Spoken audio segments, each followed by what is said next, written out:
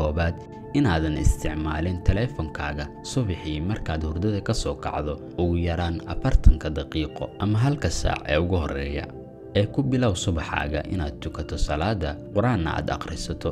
Waayo subaxii waxa ugu horreeya aad ku dhaqaaqdo waxay qayb ka noqon doonaan dhaqamadaada kuwa ugu muhiimsan ee ku bilow xuska ilaahay iyo inaad maalintaada qorshayso haddaad marka aad indhaha kala qaado taleefankaaga hore ugu boodo waxaa laga yaabaa wax taleefankaada aad ka aragto ama mesaj kuu soo dhaca in uu beddelo qorshahaaga maalintaas iyo inuu sababo inaad danahaaga kale ka mashquusho.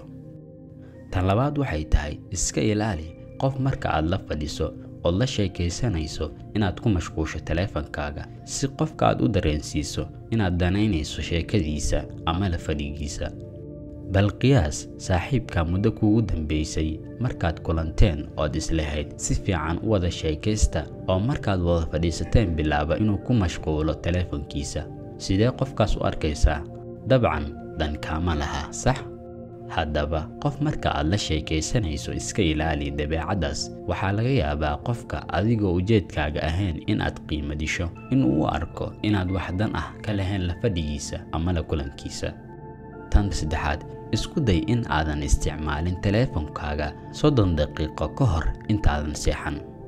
Jirka ibni'aadamka wuxuu soo daayaa laba hormoon cortisol oo ah hormoonka u qaabilsan soo jeedka iyo melatonin oo u qaabilsan hurdada. Iftiinka moobaylkaaga ka soo baxana waxaa la dhahaa blue light wuxuuna la mid yahay iftiinka qoraxda ay soo deysa oo kale taasina waa sababta inta badan taleefanka ugu dhafarto sababtoo ah iftiinka moobaylkaaga ayaa amar ku bixiya inuu jidhka soo jeedo iyo inay weli maalin tahay. Adna caawoo dhan hurdo ayaad iska raadinaysaa. Marka si aad u seexato hurdo deggan isku day in aadan isticmaalin taleefankaaga ugu yaraan soddon daqiiqo ama hal saac hurdada ka hor